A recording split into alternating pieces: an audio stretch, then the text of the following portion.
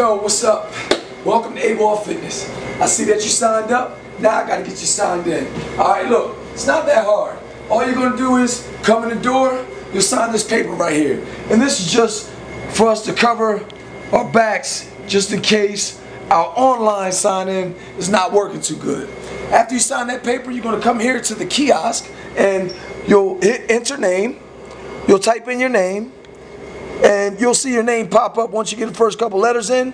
You'll see a bunch of classes for the day. Um, they'll all pop up. Now, since I'm doing this on the weekend and we only have one class on the weekend, that's the class I'll pick here. And boom, this lady, she already attended class, but it's going to ask you to check in right there. You'll check that. Once you sign in, hit done, and you'll move in and you'll get ready for class. Now, if there's a lot of people um, uh, coming today in class, we'll have more kiosks set up right here. So you can do the same sign in on the kiosk right here on the wall.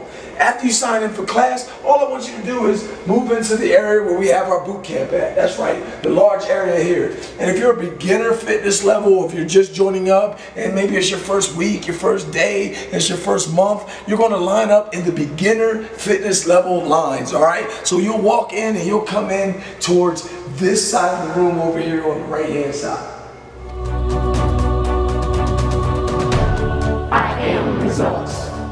Because your results are the only thing that matters.